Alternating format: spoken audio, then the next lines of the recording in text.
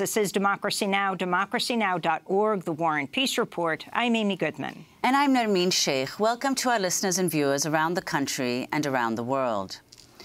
At least two people have died since Hurricane Michael made landfall in Florida and Georgia on Wednesday. It was the third most powerful storm to ever hit the U.S. mainland. The storm landed near Mexico Beach, about 20 miles southeast of Panama City. It came ashore as a Category 4 storm with top sustained winds reaching 155 miles per hour. The powerful storm remained a hurricane as it moved further inland. Despite this, advocacy groups reported that the Florida Department of Corrections had not evacuated at least a dozen prisons in mandatory evacuation zones as of Wednesday. The Carolinas are now bracing for more flooding just weeks after the region was devastated by Hurricane Florence. Meteorologists said Hurricane Michael was supercharged from the warmer than usual water in the Gulf of Mexico. The storm destroyed homes, snapped trees, downed power lines, and flooded coastal towns. One resident of Panama City said the storm snapped trees like toothpicks. I worked for the power company and retired, so I saw a lot of storm duty, but this one here was um, the, the worst I've seen. So it was um, it was good. You, you see what it did around here. It snapped trees like they were toothpicks. It was nothing to it. Florida's Republican Governor Rick Scott spoke in Tallahassee on Wednesday. Hurricane Michael is the worst storm that the Florida Panhandle has ever seen, and one of the worst power storms to ever make landfall in the United States. Florida Governor Rick Scott has a long history of denying climate change. In 2011, his administration reportedly banned state employees in Florida's Department of Environmental Protection from using the terms climate change, global warming, and sea level rise. The massive hurricane comes just days after the United Nations issued a major report warning humanity has only a dozen years to mitigate climate change or face global catastrophe with severe droughts, floods, sea level rise, and extreme heat set to cause mass displacement and poverty. We go now to Pensacola, Florida, where we're joined by Gloria Horning, social and environmental justice advocate, serves on the Environmental Advisory Board for Pensacola. We welcome you to Democracy Now! Can you start off by describing the devastation in Florida? Well, where where I'm located, uh, we really uh, missed the bullet. Uh, where um, the devastation takes place is about a about 80 miles uh, east of here.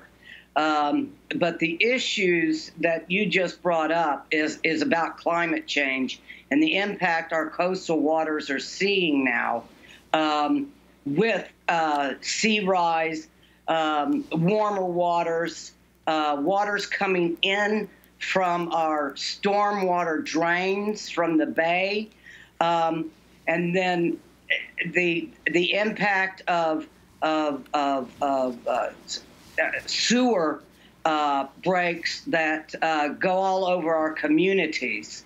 Uh, our last uh, Hurricane Gordon, we had 300,000 gallons of raw sewage uh, displaced on minority communities. Why do you say, Gloria, why specifically on, on minority communities? Well, they're the the last ones to be, you know, the the our infrastructure is very very old and what is being replaced is being replaced in more affluent communities um, and the community i live in the Tanyard is the oldest african american community in pensacola and we're constantly the sites of flooding um, I sent you a couple of pictures of the um, the water coming in our stormwater drains. Now that's without any rain. The road in front of my house flooded just from the what's coming up in the bay into our stormwater drains. And so when it does rain and those two mix, uh, the sewer um, sanitation can't hold the uh, capacity. So we're surrounded by about, I would say, 12 to 14 sewer heads, and they just blow. And Gloria, what are the hardest hit areas? Uh, Mexico Beach right now is is um, uh, destroyed, um, just as it was in Opal.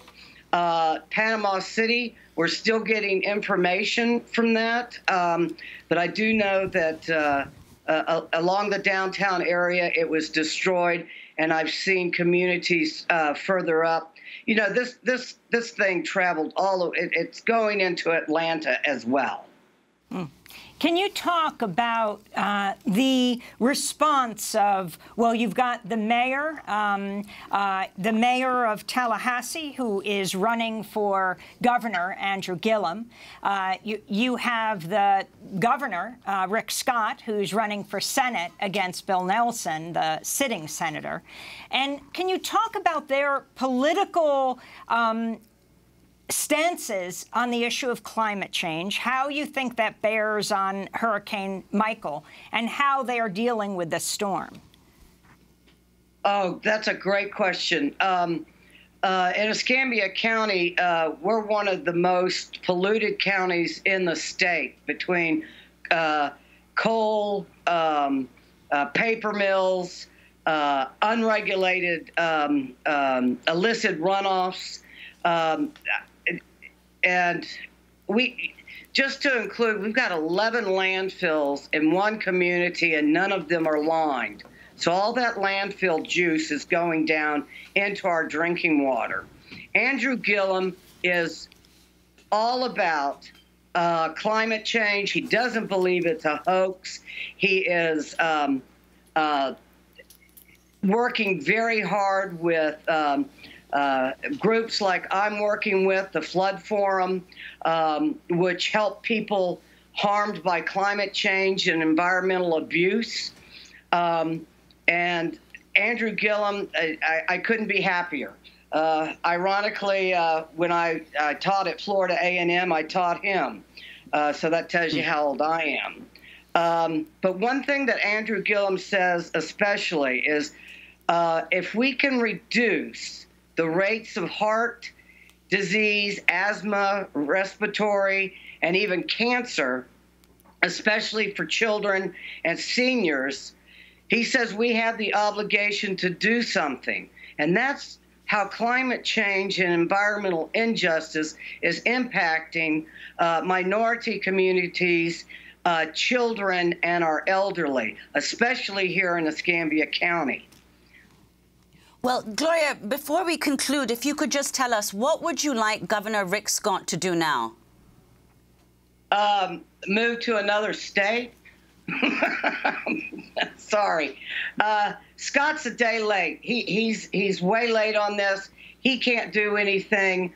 Uh, he needs to move on. He made this issue, he made this problem by denying climate change and then allowing um, uh, chemical companies and the such uh, pollute our waterways. You look at Lake Okeechobee and what it uh, allowing the, the sugar industry to dump all those pesticides into Lake Okeechobee, then go into our Gulf and Atlantic. Uh, and now all of that poison is now up into the um, into the panhandle.